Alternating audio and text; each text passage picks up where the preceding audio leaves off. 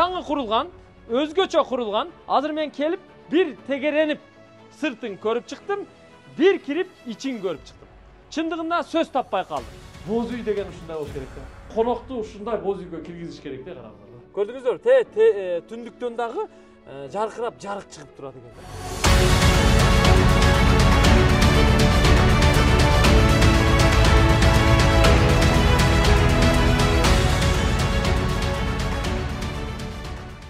ассалому алейкум урматтуу мекендештер сак саламатсыздарбы сүйүнчү сүйүнчү сүйүнчү эзелтеден ата бабадан калган биздин боз үйүбүз жаңыланды мына караңыздар современный боз үй хай тек боз үй өзгөчө боз үй бул бишкекте новопавловка айылында крупская көчөсүндө талант деген агабыздын үйүндө жаңы курулган өзгөчө курулган азыр мен келип бир тегеренип сыртын көрүп чыктым бир кирип ичин көрүп чыктым чындыгында сөз таппай калдым эми мына ушул чыгарылышты аягына чейин көрүңүздөр бул боз үйдү өзгөчө коноктор үчүн куруш керек.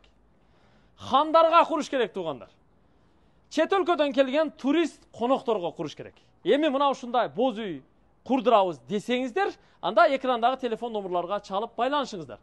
Талант агабыз өзүнүн иниси балдары командасы менен чогуу ушул үйдү бир канча айдан бери изденип мээнет кылып куруп келиптир эми сиздерге дагы куруп бермекчи албетте курганы менен бул сатылат ушул турушунда алып барып эле сиздерге көчүрүп дарегиңиздерге куруп бере берет кааласаңыздар мындан башка мындан чоңураак же мындан кичинерээк дал ушундай сапатта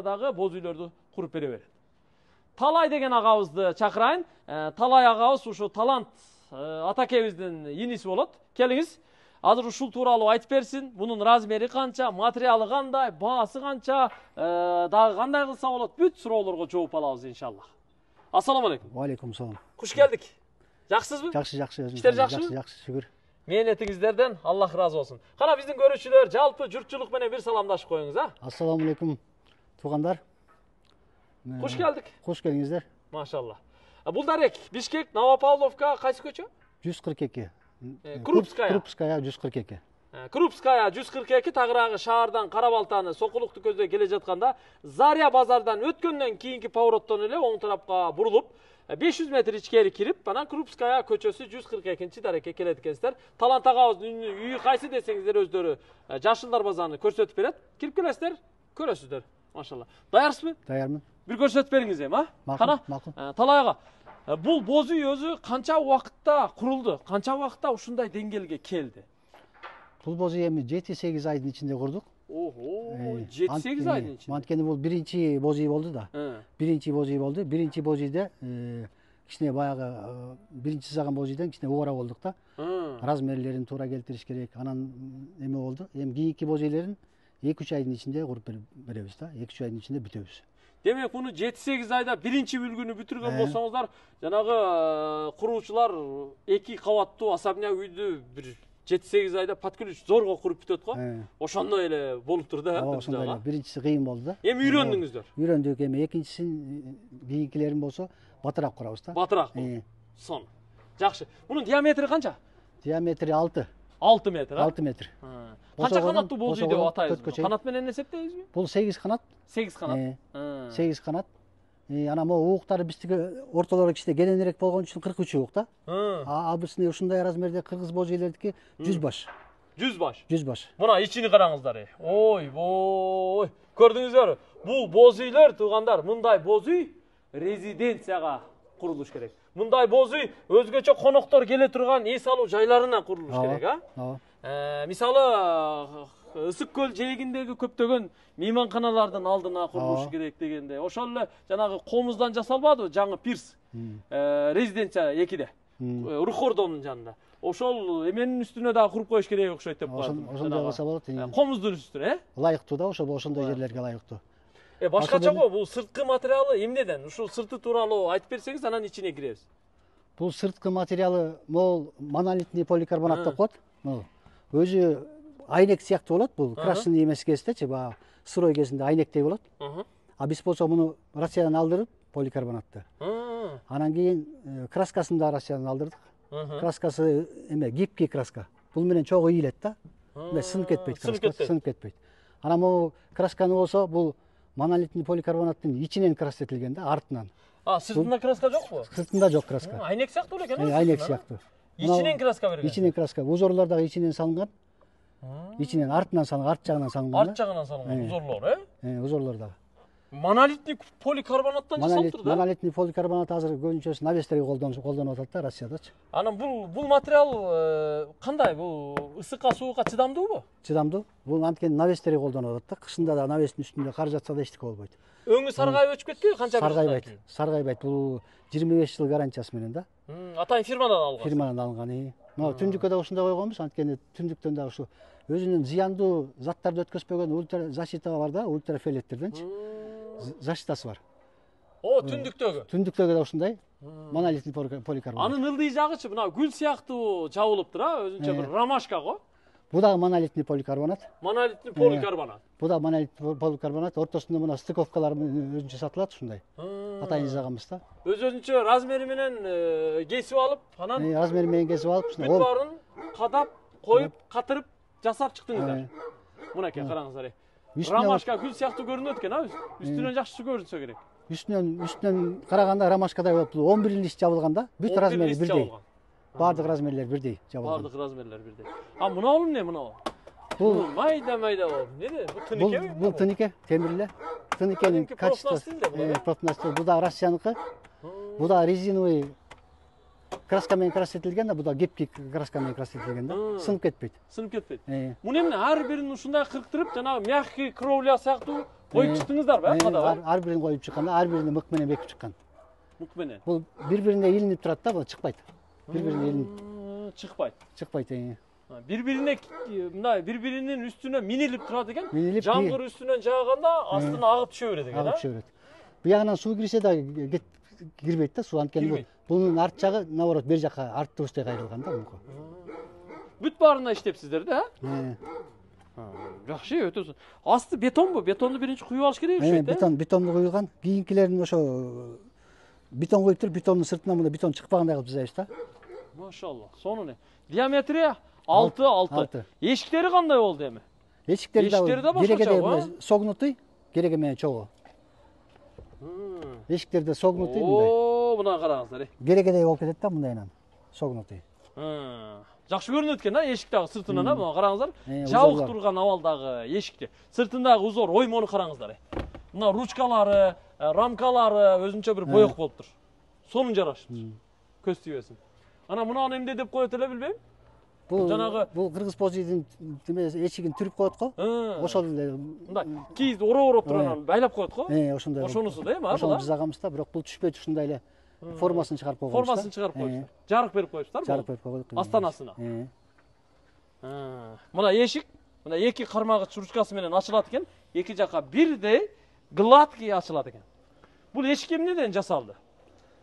Бул эшикке шпон чапталган бул мдфке мдфке шпон чаптатып могу структураларды түшүрүп туруп анан бул ою салынган да муну дагы атайын ушул оюуну чыгардыңыздар ошо эшикке эшикке ошо экөө жабылганда бир эме болгондой кылып жасаганбыз да мына мыналар эмне мына основной рамкасы дагы ошо жыгачпы бул да жыгач буга да өзүнүн ушу мына эшиктин светин чыгарыпсыздар да бул өзүнүн буга чапталган эмес бул өзүнүн өзүнүн структурасын чыгарганбыз да бул жыгач өзүнүкүнө да бойгонсуздар өзүнүнө чыгарганбыз структурасын эшик сонун чыгыптыр э мына эшик со- сонун чыгыптыр эми мындай боз үйлөрдү мисалы ушу түрк тилдүү өлкөлөрдүн көргөзмөлөрүнө э ооба алып барсак болот экен а Ооба. мисалы туркияга көчмөндөр оюнуна алып барып тигипсек болот экен Ооба, э болот. эмне дедиңиз болот туура аябай жакшы кана кирелиби киргиз бисмиллахи рахмани рахим бир катар кирип көрсөтөлү мынакей боз үй деген ушундай болуш керек да конокту ушундай боз үйгө киргизиш керек да караңыздар ойбой современный боз үй хай тек боз үй деп ушуну ооба айтат машалла бул өзгөчө болуптур могу люстраны караңыздар люстрада ошо Люстраны? боз үйгө окшоштуруп жасаганбыз а бул дагы боз үйдүн формасы чыгып турган люстра э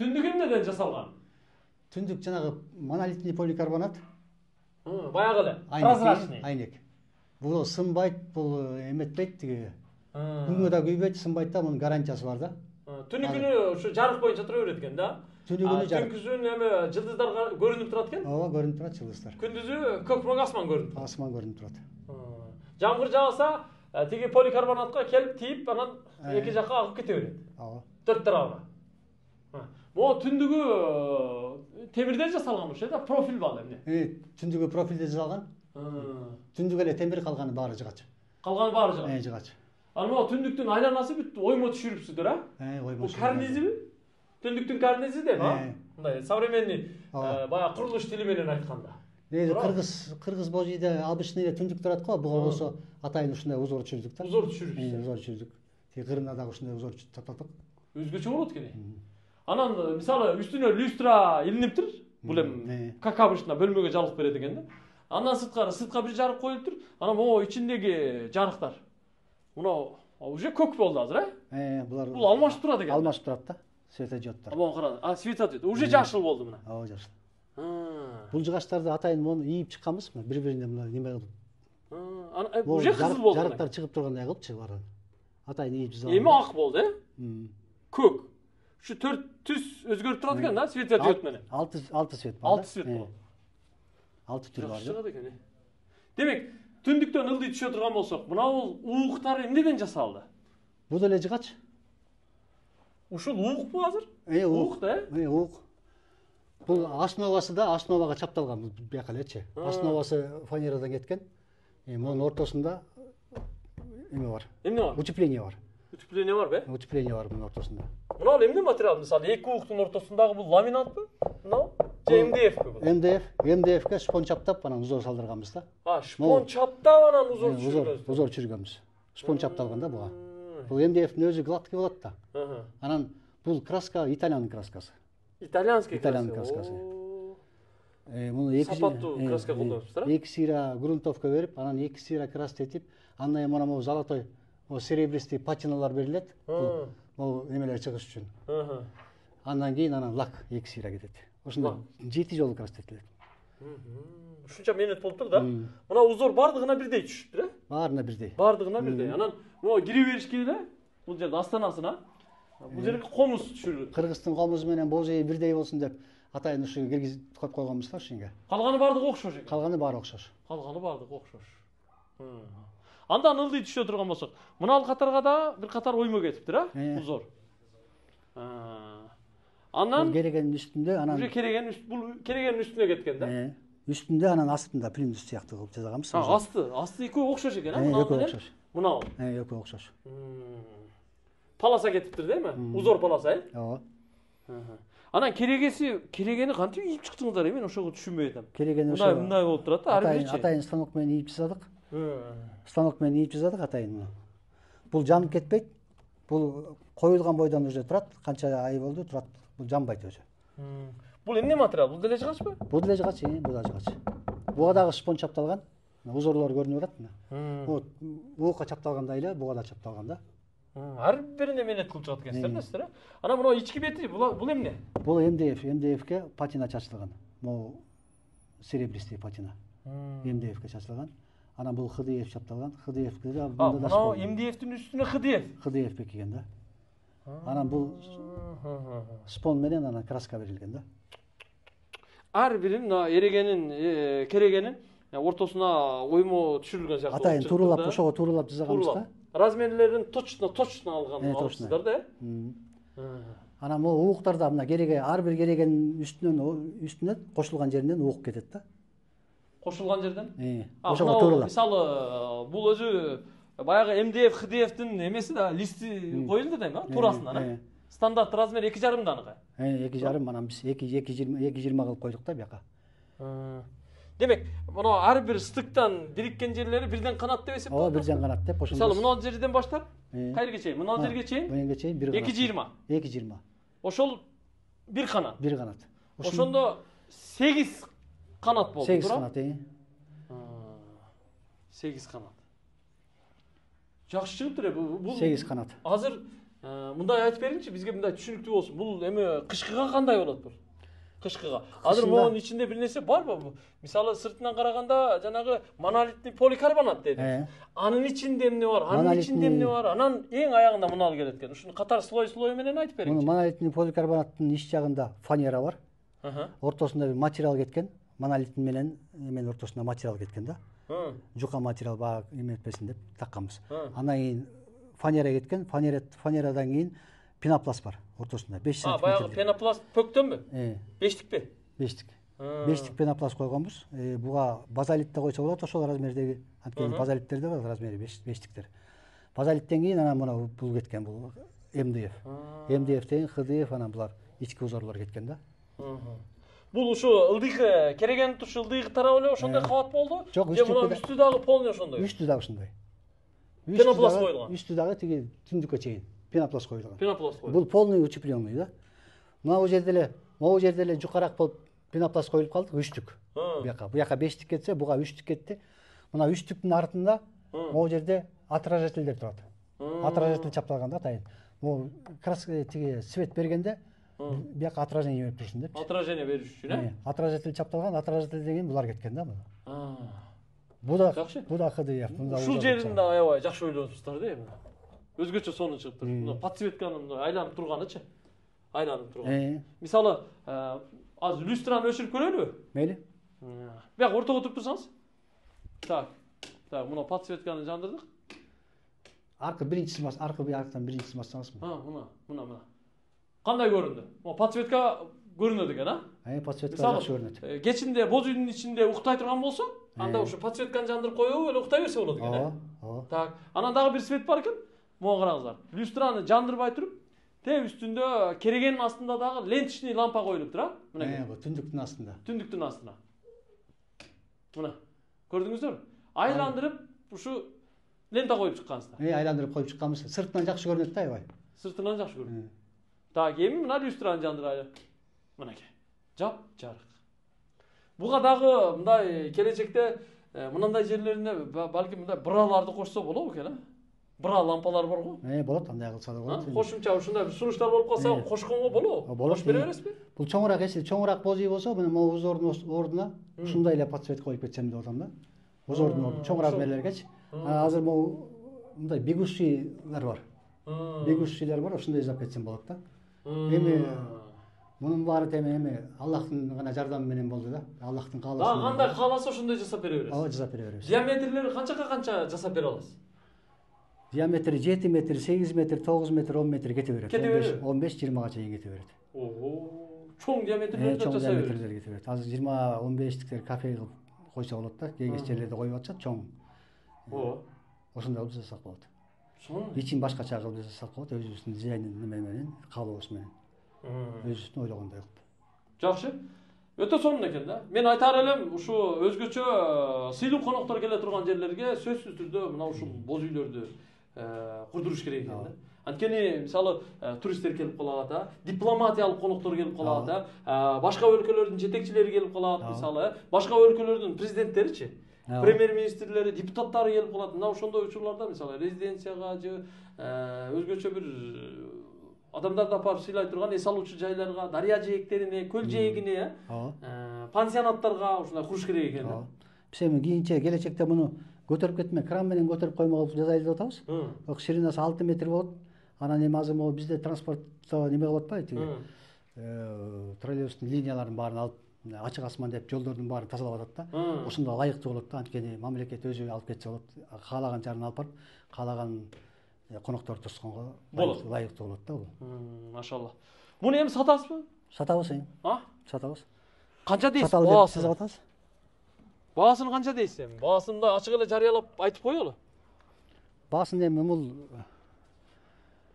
канча Өтө- дейсиз өтө кыйын турду бул э, эмгек менен турду жыйырма беш деп атабыз да жыйырма беш миң доллар деп атабыз жыйырма беш миң доллар жыйырма беш миң доллар түшүп бересизби кеми болобу кеми уступка кеми болобу болот э бир эки миң доллар түшүп беребиз тескабардын атынан келсе канча түшүп бересиз мындай он процент кылып он чар- он процент скидка кылып берелик жыйырма беш миң доллардан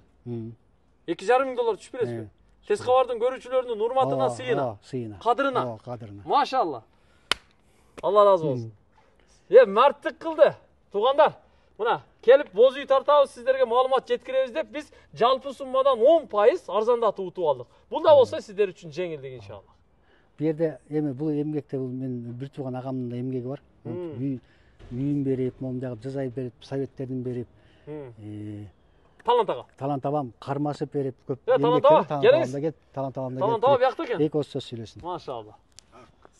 Куш келдик үйүңүзгө ден соолук жакшыбы Жақсы, жақсы. жакшы жүрөсүзбү чарчабай мындай жарыгыраакка сүйлөшөлү Жақсы. Канча жаштасыз 62-де. алтымыш эки балдарга баш көз болуп инилерге баш көз болуп кеңешиңизди айтып дегендей Ава. Албетте.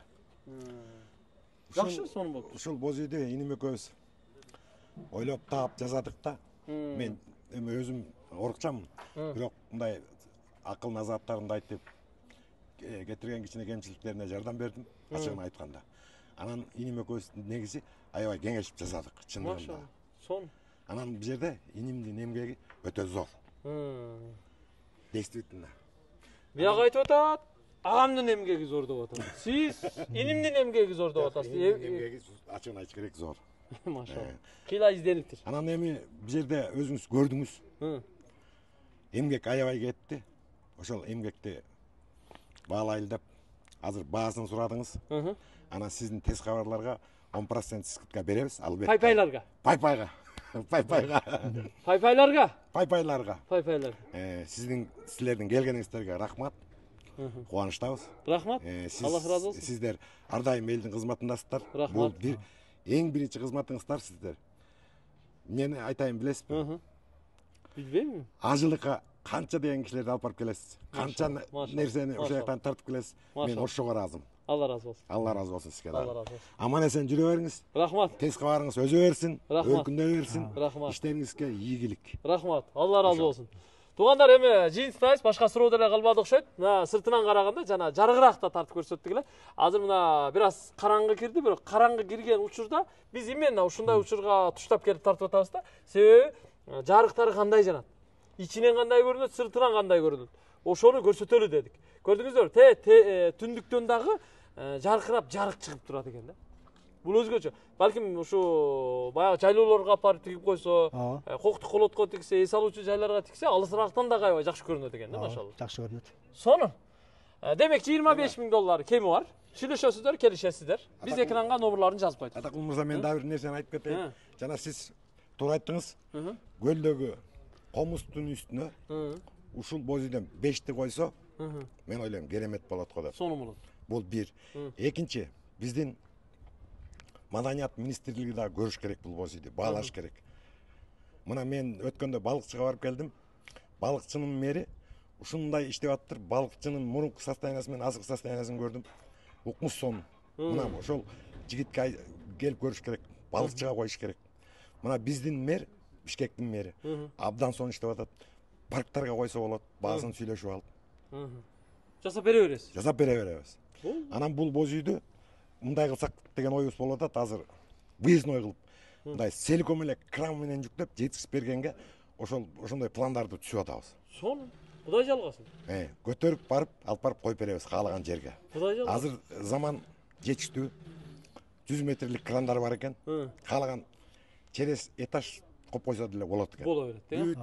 Немесин изучать эттик бүт баамдап билдик ошон ошондойго өтөлү деп атабыз эми машалла.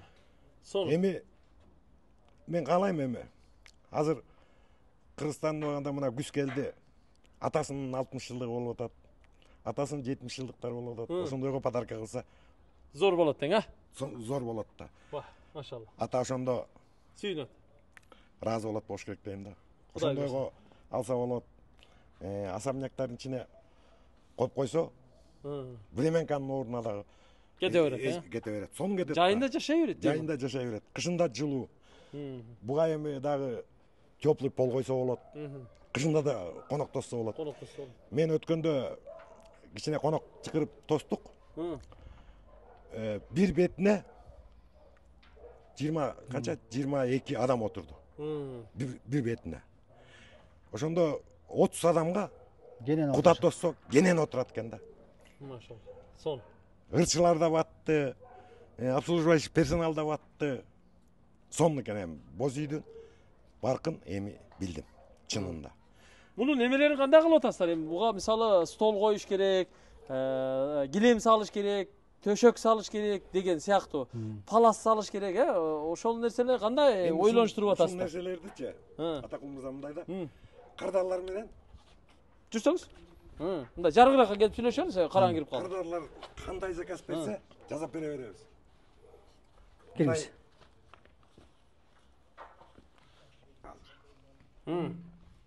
азыр наркы боз үйдү да көрөбүз да э азыр кыргыздын нукра боз үйүндө көрөбүз анда жасап жасап атабыз андан бар албетте кыргыздын боз үйүн эч качан унутпаш керек ал өзүбүздүн нукра боз үйүбүз а бул болсо заманбап боз үй да анан эми могу жерге мындай круглый боз үй неме стол жасап беребиз ошондо жыйырма төрт адам бир бетке кенен отурат жыйырма төрт жыйырма төрт адам экинчиси мен өткөндө бир ковер саткан магазинге барып жолугуп кеңешип келдим иранга заказ берсе болот экен коверду боз үйүбүздүн ичи алтыга алты алар айтышты бир айдын ичинде эгер заказ берсеңиз калың сонун кыргыздын нукура оюусу менен жасаттырып бергенге кудуретибиз жетет деди машалла ошол магазиндин современный килем салганга современный килем салыш керек бул жерге эми шырдак деле салса болот шырдак эми ал биздин кыргыздын менталитети экен буга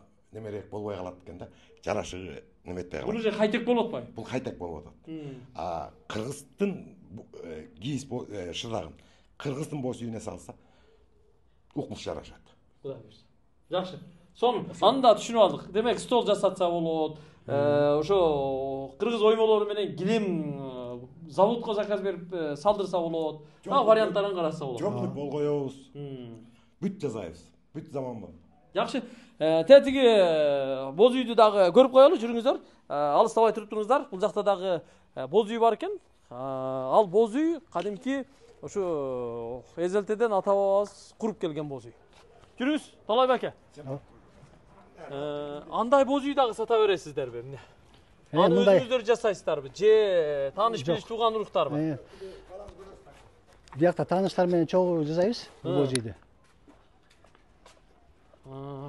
бул каякта ушул жерде жасалабы же башка жактабы жок бул көлдө жасалат көлдө жасалат көлдө жасалат мына бул балага жасайт ассаламу да. алейкум кандайсыз жакшысыңарбы денсаулык жакшыбы э машалла микрофонду Азыр бияка уже- узатсам узатсам болобу куруп коюп атасыңар Э. Эй, боз үйдү. бияка өтүп алыңызчы боз үй жака э талайбек аке сиз жакыныраак келиңизчи мага жакыныраак туруңузчу суранычы ассаламу алейкум кандай жакшысыздарбы денсаулык жакшыбы Э. боз үй куруп атасыз уже Эй, куруп баштадык. Жаңы. сиздин атыңыз ким Рүстөм мен. камераны карап сүйлөйсүз Менин атым Рүстөм. рүстөм мырза көлдүн кайериненсиз Тоң районунун Кызыл Туу айылынан болот. Канча жылдан бери ушу боз үй жасайсыздар Мен 13 класстан баштап жасап баштадым, өзүм байкелериммен үйрөнүп. Анан ошондон бери азыр Кудайга шүгүр жасап келатабыз. Эми ошо канча канат жасайсыз 3 канаттан 15-16 канатка чейин жасай Кете беребиз. Э, диаметрине жараша жасай беребиз боз үйдү. бүт нак жыгачтан жасайсыз да э Мына жыгачтан уйдун, буканын терилери М. кайыш. Э, ошо кара талдан жасайбыз. кара талдан жасалат Ол не калганы өрмөктөрүн колго согобуз бүт. бул канча канат азыр Бул 5 канат, беш канат 5,5 метрлик боз үй диаметри. жасалгаларын бүт жасап атасыз азыр Жасалгасы менен бүт жасайбыз. азыр эми муну ушу келген кардарларга ушул жерден эле көрсөтөт экенсиздер да тиги боз үйгө шерик кылып эле Эй, көргөзө беребиз. Ушул боз үйгө шерик. канча турат ушул боз үй Ушул боз үй 250 миң турат. эки жүз элүү миң сом э Ушул 5,5 метрлик беш жарым. диаметри 250 миң сом. Андан да диаметрлер чоңойгон сайын баасы кошулуп кете берет. кошулуп кете берет мындан дагы кичине кылса болобу Мындан да кичине кылса болот. 3 метрлик боз үйлөрдү кылса болот. 2 метрлик, жарым метрлик боз үйлөрдөн бери кылсак, сувенир кылып жасай берсек болот. түшүнүктүү жакшы могу бүт жабдууларыбы бул бүт жабдуулары, бүт баарын колго колго натуральный кийизден колго бычып, кайра ушинтип ата энелерибиз, келинчектерибиз ушинтип жөрмөп колго жасашат. тигип чыгышат тигип чыгышат. Бүт Мээнет кылат экен да? Мээнет менен да ар бири. Ошо ар бири бул бириктирилген жиптен бери колго тигишет. бул сиз айткан сумма ар бир боз үйдүн чоң кичинесине жараша алып барып тигип берүү кызматы мененби же жөн эле ошо жеринен жасап кеткен э, жүктөп кеткен жеринен жүктөп кеткени баа ошол баада жүктөп кеткен баасы а. А, мисалы казакстанга тигип бергиле дейт ошко тигип бергиле дейт таласка тигип бергиле дейт. Кайсы жакка тигип бергиле десе ошол жакка чейин жол киресин э, келишим түрдө келишип алып кете беребиз. тигип бере беребиз барып тигип бере беребиз жакшы ийгилик каалайм бар болгула рустам мырза. А, жакшы туугандар баягы күрүчтүн шылтоосу менен бүрмөк суу ичет дейт мына э, современный боз үйдүн шылтоосу менен э, бул дагы көрсөтүлүп калды эми мындай боз үй керек болсо мына эки жүз элүү миң сом экен ал э, беш канат мындан чоңу деле мындан кичинеси деле болот. Эми карап кайсынысы керек болсо буйртма бере бересиздер анда биз экранга телефон номерларды жазып койдук ошол номерларга чалыңыздар байланышыңыздар. Бул дарек бишкек шаары новопавловка айылы. Крупская 142. крупская жүз эки э Э. ошол келе берсеңиздер болот жыйынтыктайбыз аманчылыкта көрүшөлү видеого лайк басабыз комментарий жазабыз жакшы пикир калтырабыз буларды кубаттайбыз туугандар анан бул видеону сөзсүз түрдө башкаларга жөнөтүп бөлүшүп коебуз анткени бул маалымат баардык элге жетсин таркасын бир эле бул кыргызстан эмес туугандар буягы о монголдорго чейин буягы казактарга чейин түрктөргө чейин өзбектерге чейин баардыгына жетсин анткени ал жактан да алып калышы мүмкүн да. Ооба туурабы ооба туура түрктөргө да жетсин жакшы жыйынтыктайбыз аманчылыкта көрүшөлү эгер буйртма берип жасата турган болсоңуздар курдурган конушуңуздар тагы дагы боз үйүңүздөр куттуу болсун